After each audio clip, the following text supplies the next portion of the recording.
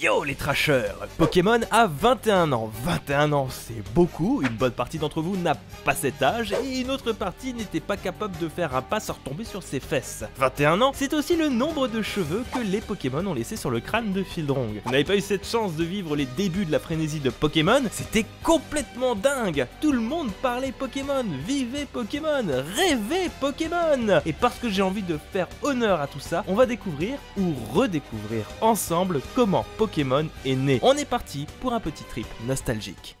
Game Freak n'est pas né avec Pokémon.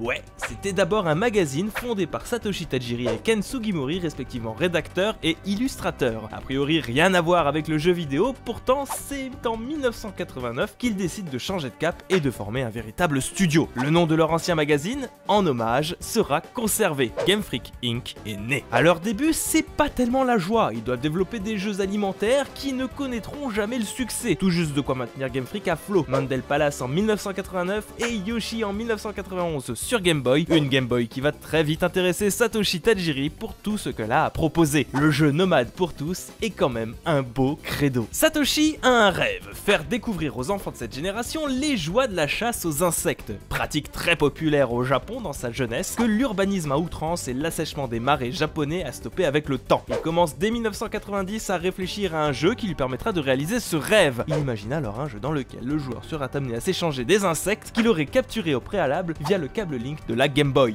Satoshi n'imagine en effet aucunement son projet ailleurs que sur cette console portable. On peut l'emporter partout, chasser des insectes virtuels où on veut, un petit peu comme une activité en plein air. La légende dit qu'il a eu cette idée en voyant un insecte se balader sur son propre câble Link. Pour la petite anecdote, ce sera la première fois que le câble Link sera pensé comme un outil permettant des échanges de données entre cartouches et non pas simplement des affrontements entre joueurs.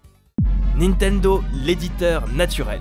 Satoshi prépare les premières esquisses du jeu avec Sugimori. La fameuse introduction du jeu opposant Ectoplasma à Nidorino est déjà entièrement dessinée et même un premier Pokémon est prêt. Ce n'est pas Bulbizarre, mais Rhinophéros. Game Freak ne peut pas s'autofinancer, je vous le rappelle, ils n'ont pas tellement brillé dans le jeu vidéo jusque là. Ils ont besoin d'un éditeur, Nintendo est tout désigné. Satoshi Tajiri présente son concept d'insecte à capturer à Big en 1990. Il leur dit tout. Pourquoi le Game Boy? Pourquoi le câble Link? Des insectes à capturer échanger, tout. Nintendo ne comprend rien. Mais alors, rien du tout. Ils sont emballés, hein, parce que le jeune Satoshi est quand même très communicatif, mais le projet leur semble quand même très obscur. C'est alors qu'intervient un homme quasi providentiel, Shigeru Miyamoto, qui lui semble avoir tout saisi en fait. Hein. Il comprend ce que veut Satoshi, voit le potentiel du truc, mais comprend aussi quels sont les intérêts de Big l'argent. Il se pose donc en soutien du projet, mais propose quelques petites modifications. Déjà, il faudrait que le jeu soit vendu en deux cartouches, chacune avec des bestioles spécifiques. Le joueur devra se procurer donc les deux cartouches pour avoir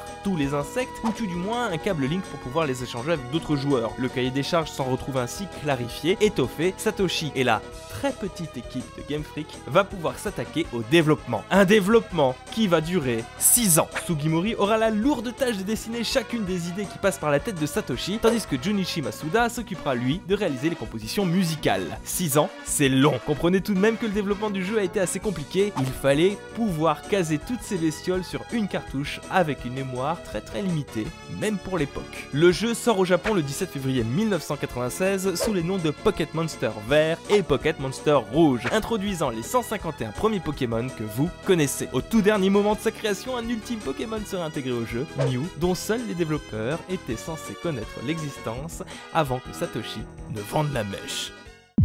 Un succès calme au Japon, une fureur totale dans le monde.